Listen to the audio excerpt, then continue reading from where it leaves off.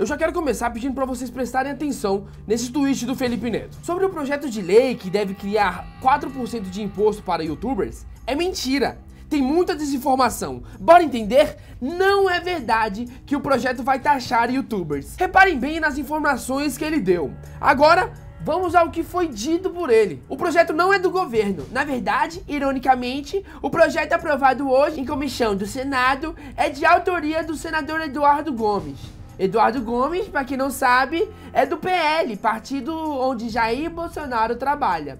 Dizer que o projeto é do Lula é bizarro, né? Para começar, um grande foda-se pra isso, né? Pra quem tá cagando pra Lula, pra Bolsonaro, o único ponto que importa nessa questão é do imposto. Então, se estão criando mais imposto, eu já não consigo concordar. E aí não importa o filho da puta que tá por trás do projeto. Mas calma, nesse próximo tweet, vocês vão ver o Felipe Neto defendendo um projeto de lei de um senador bolsonarista. É inacreditável. O objetivo não é demonizar o Eduardo Gomes, porque o projeto em si tem coisas positivas. Vou explicar.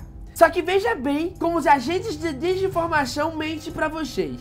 Estão espalhando que o Lula está criando 4% de imposto para influências. Entende o nível da coisa? E sabe o que é engraçado? É que se o Bolsonaro tivesse sido reeleito, ou esse filho de uma puta ficaria caladinho, ou apareceria lá no Twitter descendo o cacete no projeto de lei. É a mesma coisa praticamente do projeto de lei que taxou as compras da Shopee, do AliExpress, etc. Como é o Lula presidente, esse desgraçado apareceu para defender aquela taxação naquela ocasião. Mas o assunto estava sendo discutido desde o ano passado. E o engraçado é que na época ele não falou um pio sobre o projeto. E eu nem preciso falar também, isso daí já me lembra o que, a Choquei fez. Eu preciso falar? Não preciso, mas eu vou. Na época que começaram a falar sobre a taxação, a Choquei lá, que o Felipe Neto é amiguinho, que não sei o que. Engraçado, né? Reclama tanto de fake news e ela, ó, chegado na Choquei. Referência em fake news no Brasil. Mas enfim, olha a Choquei na época. O ministro de Bolsonaro, Paulo Guedes, defendeu a taxação dos aplicativos de compra como Shopee, AliExpress e Shein o desgoverno não cansa de ferrar com o pobre. E aí com o Lula presidente e o projeto sendo aprovado, a mesma Choquei publicou o seguinte: Governo Lula anuncia fim da isenção de importação de encomendas de até 50 dólares.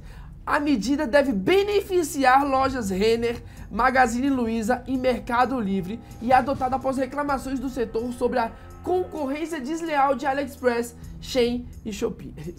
Eu preciso mostrar um nojo, tá escancarado para vocês. E nessa época, o Felipe Neto não apareceu defendendo Paulo Guedes por ele apoiar a taxação. E outra coisa que vale deixar claro aqui, na época dessa polêmica, o então presidente Bolsonaro se pronunciou e descartou assinar a MP para taxar compras internacionais. É bom deixar isso daqui registrado também. Atenção, galera, a Blaze tem uma novidade incrível para vocês. O lançamento do Crash 2, um jogo totalmente diferente e que tá bombando. Mas Daniel, a Blaze é segura? Meu Deus do céu, gente. Vocês acham mesmo que o Neymar iria continuar associado a uma empresa que não fosse séria? Usem a cabeça, não custa nada. E essa é a hora de vocês experimentarem a plataforma. Mas olha, só se tiverem mais de 18 anos. Eles agora estão aceitando depósitos a partir de um real. Criando sua conta e seu nome, depositando através de uma conta bancária sua, eu tenho certeza que você não terá problemas com saques. E lembre-se do código NYTreta para garantir o seu bônus de boas-vindas. Outra coisa, a Blaze, gente, é uma plataforma de diversão, não é investimento. Então não gastem o que não podem. Bora pro Quest 2. É o seguinte, pessoal, tô com câmera móvel, chega aqui, câmera, a gente tá aqui na, no site da Blaze, meu saldo é 8.850 é, reais, perfeito. Aqui tá o Crash 2, eu vou clicar nele e aqui tá, ó, acabou de explodir. Vamos colocar aqui 2 mil reais. Eu vou meter o louco agora. Tá no...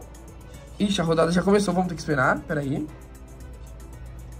Ó, tá começando, vamos lá. Ó, e como o jogo é novo, pessoal, tá bagando bastante, sabe?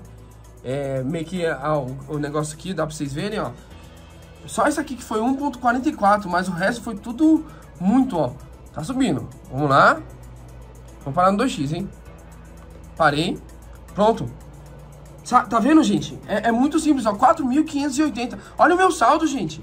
É o que eu falo pra vocês. A, como é jogo novo, a plataforma paga bastante, então é hora de vocês aproveitarem, perfeito? Não se esqueça do cupom NY30 para garantir o seu bônus de boas-vindas de até mil reais em seu primeiro depósito, mais 40 rodadas grátis. Mas vamos continuar com os tweets do Felipe Neto, que tem mais merda pra vocês escutarem. Sobre o projeto, isso já existe na França, na Alemanha, Itália, Espanha, Portugal, Holanda, Polônia, Dinamarca e outros. O objetivo é simples: empresas gringas vendendo conteúdo gringo para brasileiro precisam pagar taxa para incentivar a produção de conteúdo nacional. Duas coisas aqui. O engraçado é que ele usa a União Europeia só pra defender o que lhe convém, né? Quem é antigo aqui nessa porra sabe que ele desceu o cacete pra criticar aquele tal do artigo 13 que tava pra ser aprovado na Europa. É um fila da puta, eu tô falando pra vocês. O que foi aprovado em comissão do Senado hoje cria uma taxa de 3%, não 4%, para essas empresas. Essa taxa é aplicada após o pagamento de impostos e outras despesas. Mentira que seja no faturamento bruto. Além disso, presta atenção na próxima parte.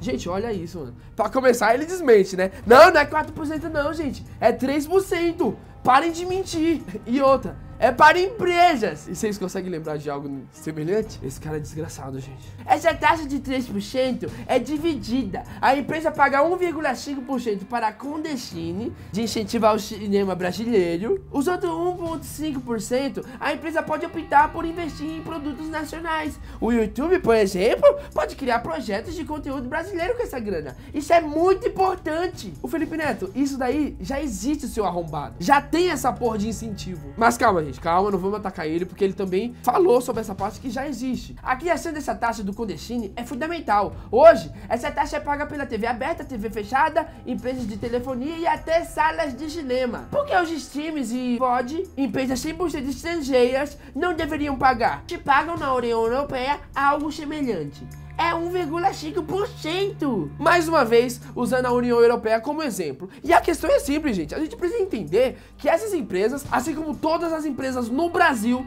já são taxadas absurdamente. Então, não importa se está aumentando 1, 2, 3%, já chega de imposto, seu arrombado do caralho. Vai tomar no seu cu! Todo mundo já pagou um imposto do caralho e um verme desse ainda vem aqui defender mais taxação. É um filho da puta, mano. E aí aqui vai começar a contradição desse arrombado. Lembra que ele falou que o projeto não, não vai taxar youtubers, né? Bom, olha esse tweet. Onde está o grande erro? Nenhum representante dos criadores de conteúdo VOD foi chamado para o debate. O erro está em incluir a receita de todo criador de conteúdo no mesmo bolo que será taxado em 3%. Isso não é justo, porque nós pagamos essas taxas quando recebemos o pagamento. Por isso, uma alteração é urgente no projeto do senador Eduardo Gomes. PL, lembram? Essa alteração é incluir o repasse aos criadores brasileiros com CNPJ no Brasil como despesa protegida da taxa de 3%. O YouTube paga aos criadores e depois é taxado. Ué, mas não era mentira que os youtubers seriam taxados, Felipe Neto? E agora você me diz que o erro no projeto é porque tá incluído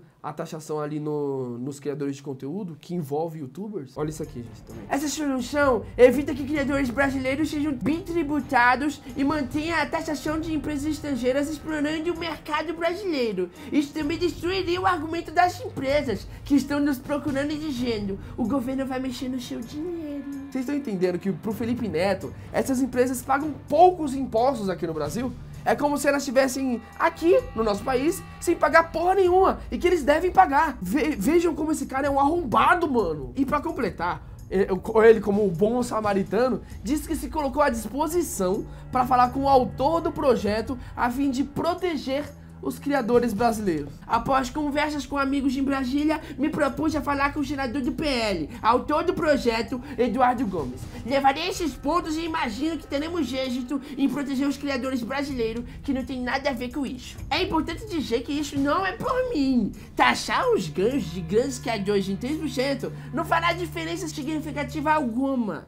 Isso se dilui em crescimento de audiência. É pelo pequeno criador que sustenta a família com conteúdo BR e não deve passar por bitbotação. Não se esqueçam da Blaze, cupom NY30 para garantir o seu bônus de boas-vindas. É entretenimento, tá? Blaze é entretenimento.